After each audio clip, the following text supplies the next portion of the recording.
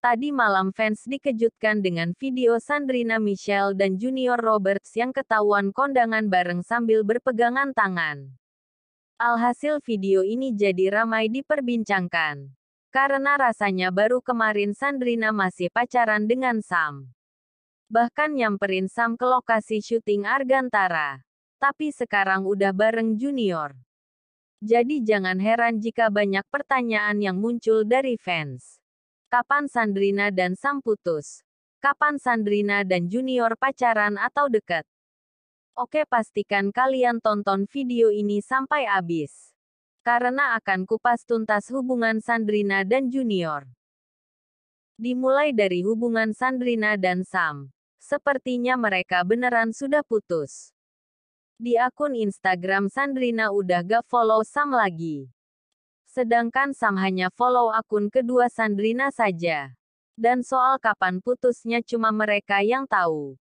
Lanjut ke Junior. Junior terakhir diketahui selingkuh dengan Rebecca dari Hanggini. Video mereka sempat viral beberapa bulan yang lalu. Yang mau lihat silakan tonton videonya. Ada di channel ini. Setelah skandal Junior dan Becca reda, lagi-lagi video Junior dengan wanita di klam viral lagi. Karena sang wanita di video itu ternyata sahabatnya Hanggini juga yaitu Gabriel. Banyak yang tak menyangka Junior dua kali main hati dengan sahabat-sahabatnya Hanggini. Dan setelah skandal ini reda, Junior tidak lagi terdengar dekat dengan siapa pun kecuali lawan mainnya di sinetron Roda-Roda Gila.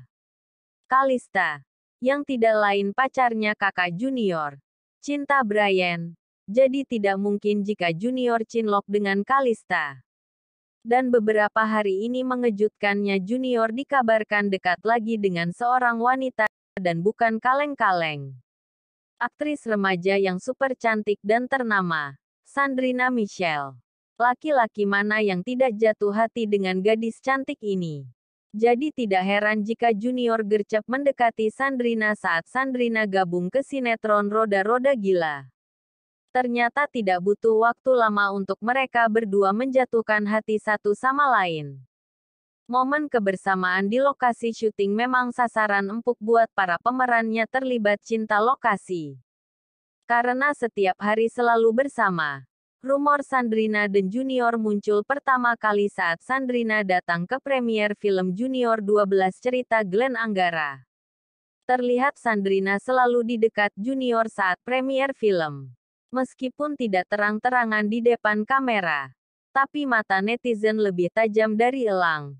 Bisa melihat sesuatu yang tak terlihat jelas. Dan puncaknya tadi malam Sandrina dan Junior bergandengan tangan ke acara pernikahan salah satu kru sinetron DJS. Video ini distoryin langsung sama maminya Sandrina. Tidak mungkin jika hanya teman biasa atau partner kerja. Gimana menurut kalian guys? Mau dilanjutin gak videonya? Next kita bahas di part 2 ya. Apa sih?